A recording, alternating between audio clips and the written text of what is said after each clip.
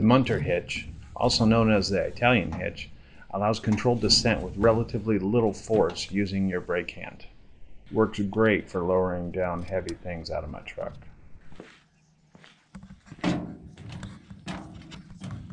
I had to widen that ramp a little bit.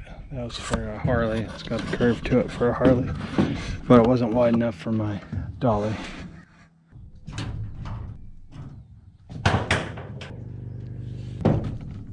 Anytime you move something with a dolly, you definitely want to strap it in. It makes it so much easier.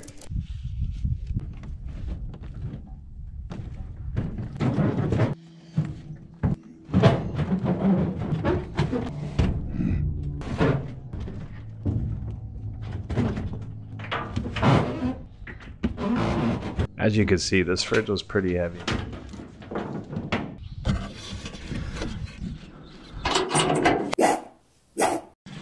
Backed up with aluminum plates.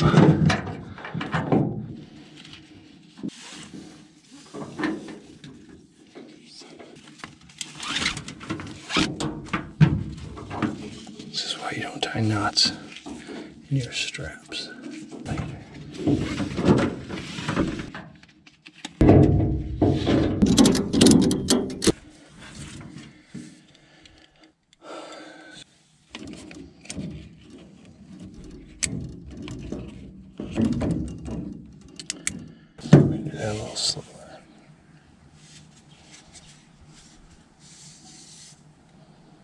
Give it a little twist as I'm coming.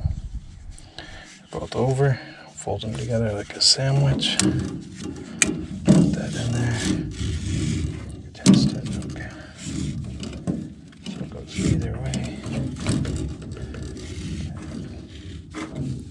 So I want it the other way right now. Let's put it right here.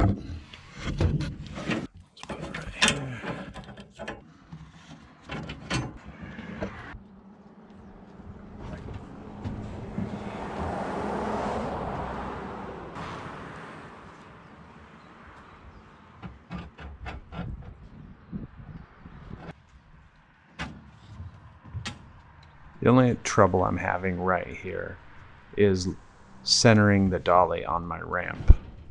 Also, the back end of that fridge is heavier than I thought, so I didn't have it centered on that dolly exactly where I should have. So, kind of wanted to top over backwards. If you pay attention to my left hand, you could tell I'm barely even holding onto that rope. In order to get enough slack to go down the ramp, I have to actually push that fridge down the ramp. Even if I had a second person helping me, keeping that refrigerator from rolling down the ramp, I would still use this knot because that's a lot of weight for one person to hold.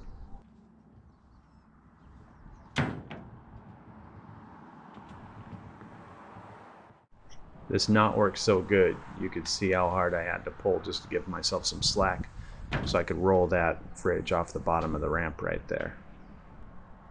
This also works great if you have to roll a refrigerator down some stairs.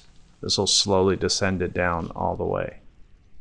Thanks for checking out this video. Don't forget to like and subscribe.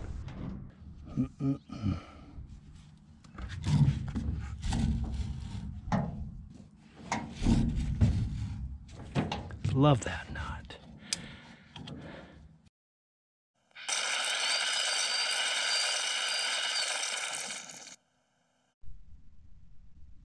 Thanks for checking out this video. Don't forget to like and subscribe. And if you have any further questions about how the Munter hitch works, put it in the comments below and I'll do another tutorial.